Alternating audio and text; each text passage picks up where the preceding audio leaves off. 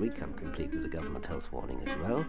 Ken's pipe, now that, was- that was quite a legend and everybody had a little smile about it. The thing he liked to smoke was um, stuff called Balkan Sobranie, which was- he liked to mix with Latakia. Had a very distinct um, effluvia, I might say. In fact, the pipe was, from time to time, I think it was unlit.